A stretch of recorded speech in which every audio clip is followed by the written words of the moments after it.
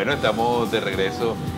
Ya estamos de regreso en la revista de Sol a Sol. Gracias y está con nosotros en esta mañana el doctor en psicología Alejandro Vogel y tenemos un tema muy oportuno de tratar, eh, los niños y la tecnología. Y para ello el doctor Alejandro Vogel nos acompaña porque hemos estado aquí conversando sobre el manejo, el buen uso de la tecnología y sobre todo para nuestros pequeños. ¿Cómo podemos irle enseñando?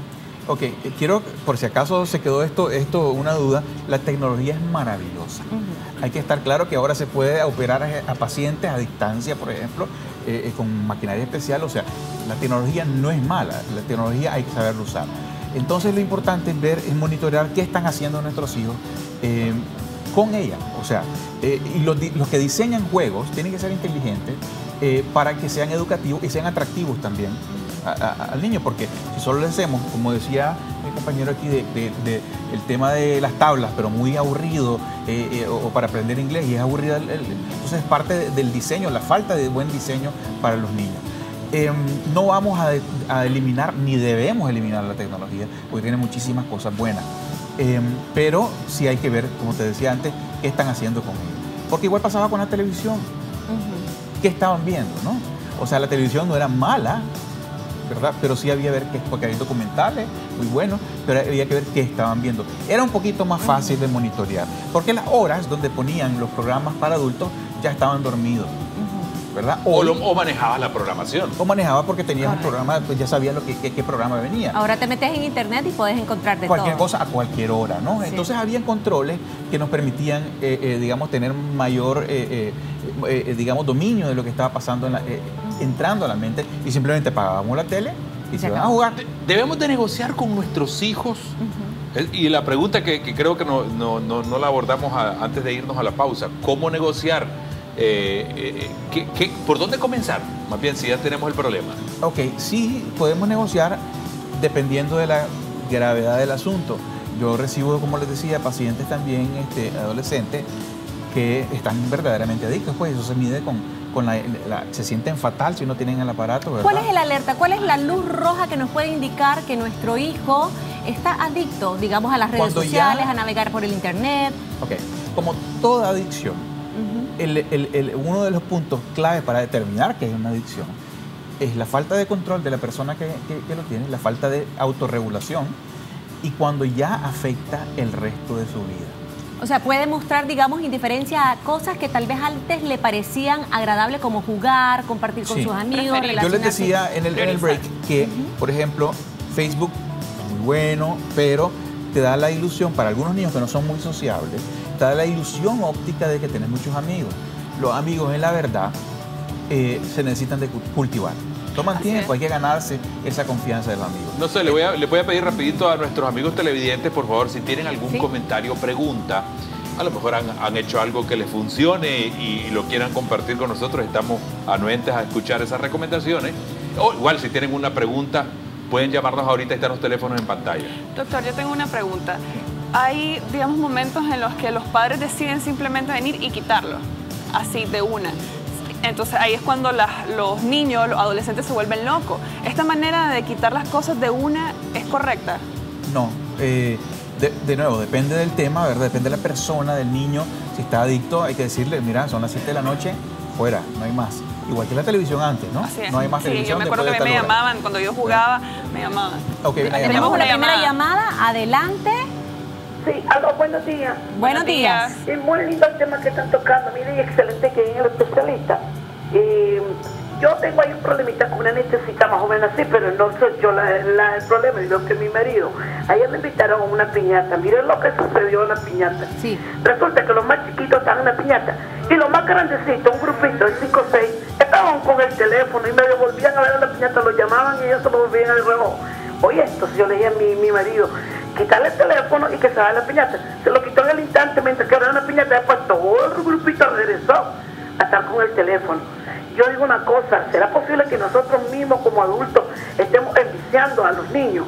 Esa es mi discusión en de con mi marido y con mi hija de que yo veo que la están enfermando mucho el teléfono. Antes mi niña venía y se ponía a ver los muñequitos, pasaba un tiempo los muñequitos, los muñequitos. Ahora no existen los muñecos para ella y para donde yo voy, mi veo mis primitos, veo mis sobrinitos la misma. Ya ni tienen el televisor por más tecnología que tenga aquel televisor y, y por más nada. Ellos, que pedir aquel teléfono que es preocupante. A mí sí me preocupa, fíjense.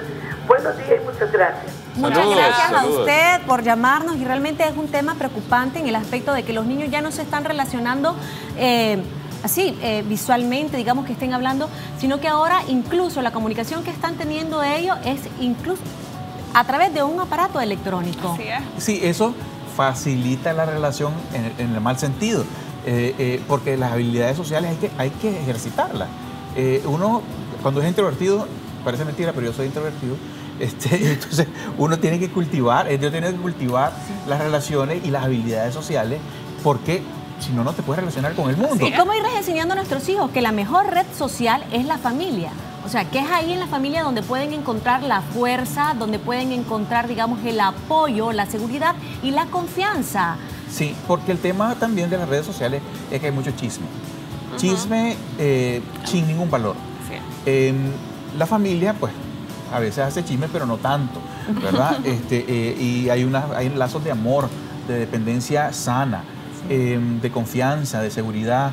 Eh, eso no te lo va a brindar, digamos, una, una red de amigos eh, eh, eh, grande en, en Yo- yo- Facebook. O en el colegio. A igual. propósito de lo que estábamos hablando de crear, de, de crear límites, y yo hablaba también del tema de la negociación. O sea, de, de- de- de qué me estás dando vos o, o cómo podemos, te doy una hora, pero de la próxima hora la vamos a dedicar a estudiar. Esto funciona. Sí, sí funciona, dependiendo también de la edad del niño.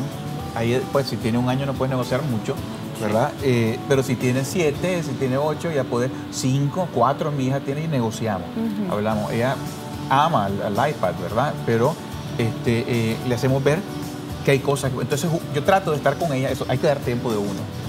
Porque lo que a veces, muchas veces, y lo hacíamos con la televisión, es que le poníamos la televisión o el iPad para que no nos moleste. Eso. ¿verdad? Entonces, ¿qué pasa? Esto, la- muchos padres dicen, pues esto es un problema, esto es un problema. Sí, pero bueno, la pregunta está, ¿cuánto tiempo le estás dedicando a tu hijo?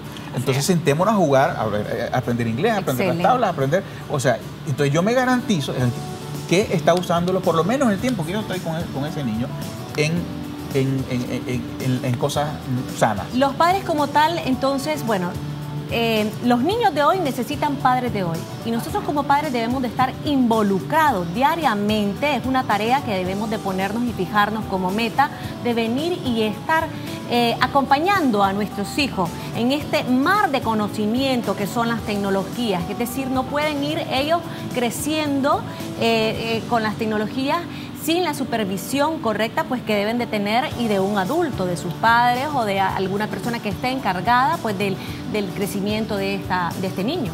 Sí, definitivamente no podemos ser ignorantes a, lo- a los nuevos avances. Tenemos que saber qué es lo que está pasando con la tecnología como padres, porque si no nos perdemos, después no sabemos qué está pasando, ¿no?